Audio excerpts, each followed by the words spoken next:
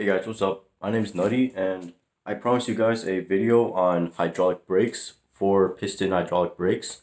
So here's that video on that and what happened. So guys, here you could see the brakes. I did have to put them on upside down because they came reverse sided. But when they came, so let me show you. This one works fine but this one, it does not work fine. So it came with air in the system. And no matter how much I bled it, I've searched up countless YouTube videos. Um, I think I'm doing everything right. Or maybe I'm just doing something wrong, but I've done lever bleeds where just uh, open the port on here only. I've done full bleeds where I get a syringe one side, put it on the other side, fully bleed out the system.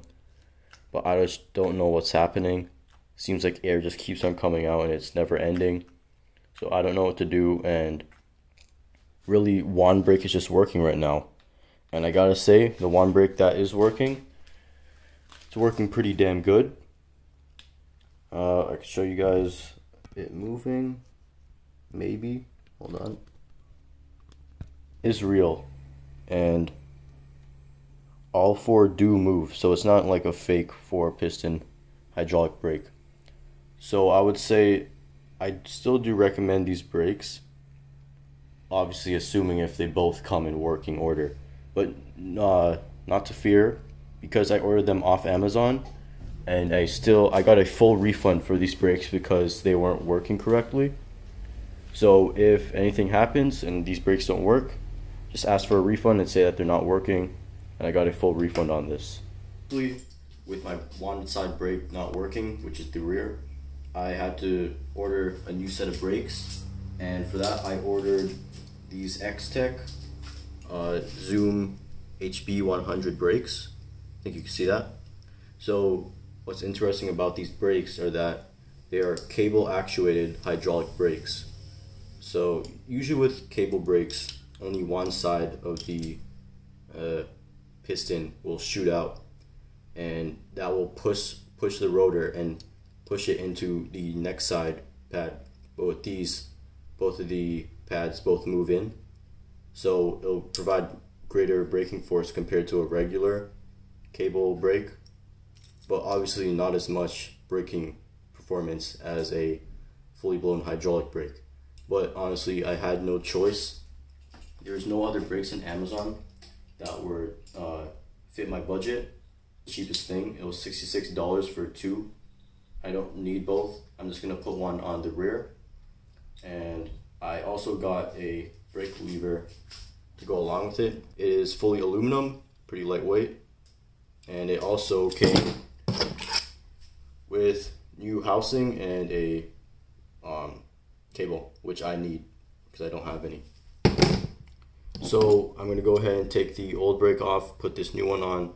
I'm gonna bed these brakes in in this in this video, and I'm gonna quickly do um, performance of this and see if it's actually good or not.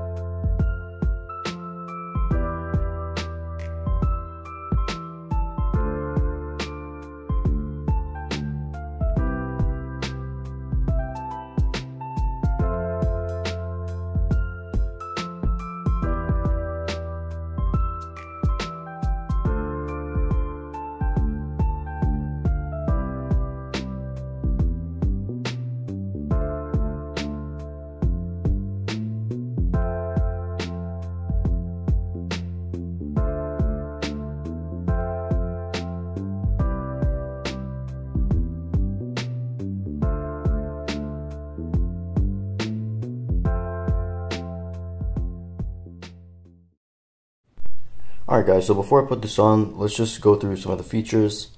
Obviously there's a hole here for your bolts, but it's a little bigger so your bolts have room to wobble around.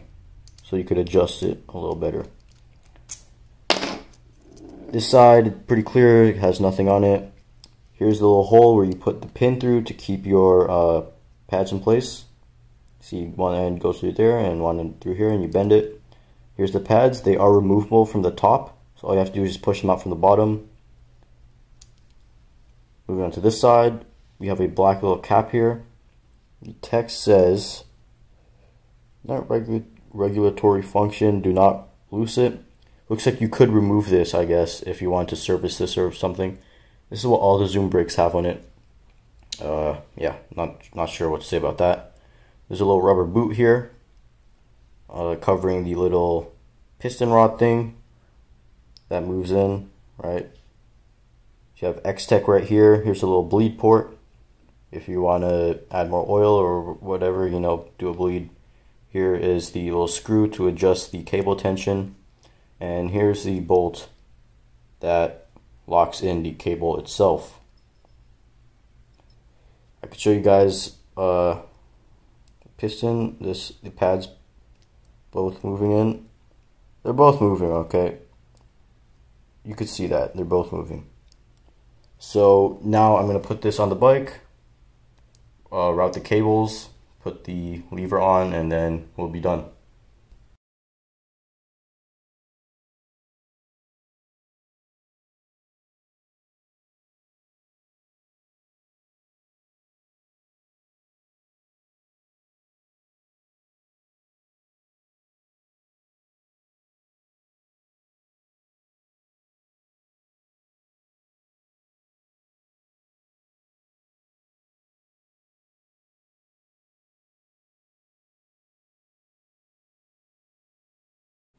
Okay, next step is to remove my lock-on grip. I'll slide the lever on, route the cable, stuff like that. Let's do it. Okay, so I just finished up. Here's the lever. And just have to cut these zip ties. And here's the cable back here, and here it is. I gotta trim this down, put an end cap on it, but I'm basically done. So the red caliper matches the red hub back there. Um, as for braking for performance, I was spinning the back. Here, let me uh spin the back wheel, and I'll, it does lock out the brake. I mean, lock out the wheel from what I'm doing right here. And something I'm noticing is that the lever isn't as smooth as a hydraulic one. Here's hydraulic one, nice and smooth. This one, there's a little bit of play in it. And then you also got to press a little harder for it, but it's to be expected since they're not the same. One's cable, one is oil. Right, so I think these brakes are going to work fine for what I'm doing. Obviously, most of my riding is XC and a little bit of uh, jumps and whatever, so I don't think this is going to be a problem. Obviously here you could adjust the cable, stuff like that, cable tension. And also I would like to mention that I did actually change out the brake pads. I have some of my own that I ordered from AliExpress. They provide a little bit more stopping power compared to the stock ones. So I just put those on there. So I think this is actually pretty good. I'm gonna, I don't think I'm gonna go out and uh, try to bed these in right now because it's super hot outside. There's like a heat wave warning. And really, I'm sweating just working in my garage. That's it for this video, guys. The sum of this video is that these brakes, if you could find them, I'll leave a link in the description. You could find them for a good price, I really do recommend them because they provide really good stopping power.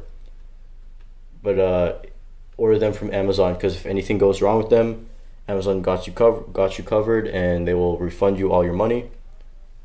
And these X-Tech brakes, they're pretty good, but honestly for the same you could usually find them around the same price as regular hydraulic brakes. But that's not my case right now on Amazon. since all the brakes were reverse sided and I just wanted I didn't want any reverse sided ones. I didn't want to flip any more levers around like this. And not only that, I forgot to mention something, but this nut, I tried removing it to like swap the cable hoses, but the nut just ended up stripping out. So like, I just can't find the right wrench size. I think it's like a 7 mil that fits on here, but it's a little loose. But then a 6 won't fit at all. So like, what the hell? What am I supposed to do, right? So it's kind of weird. Anyways, guys, that's it for this video. I hope you enjoyed. If you did, please leave a like. That would mean a lot to me. Comment down below. Leave suggestions, uh, something you'd like to see in the future. Uh, also, please subscribe. I hit 700, so I guess my next milestone is 800. That's it for this video. See you guys. Peace. Look at this mess I gotta clean up.